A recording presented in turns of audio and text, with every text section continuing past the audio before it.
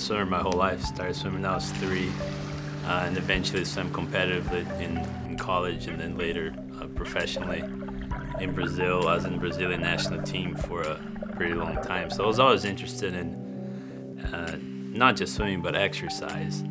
And uh, I've done some altitude training myself throughout the years. And uh, so when I came to Rice and I was presented with this project of studying adaptation to low oxygen conditions, especially under exercise, I was very interested in doing that. So right now we're breathing in 21% oxygen, and we take that for granted. Our bodies act like well-oiled machines.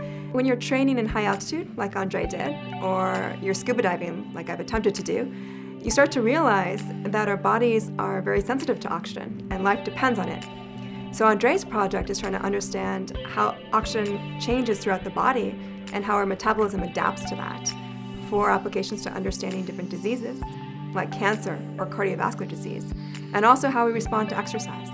The way we do is we use uh, genome-wide metabolic reconstructions, which are reconstructions on the metabolism that are done based on the entire genome of a particular organism, and we try to predict fluxes and try to predict computational how those pathways, how those metabolic reactions can be used.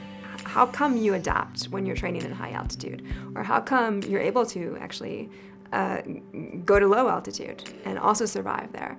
Our bodies are very sensitive to oxygen and Andre's project is trying to understand why and how over many, many evolutionary time, in the evolutionary time frame, how the human body and mammals in general adapted. So applications to that are broad. Things like understanding how cancer uh, responds to oxygen, how cardiovascular diseases could, might be treated through hypoxic response pathways.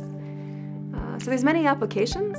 Uh, one of the fundamental things is really understanding over evolutionary time how did bodies adapt to high and low altitude.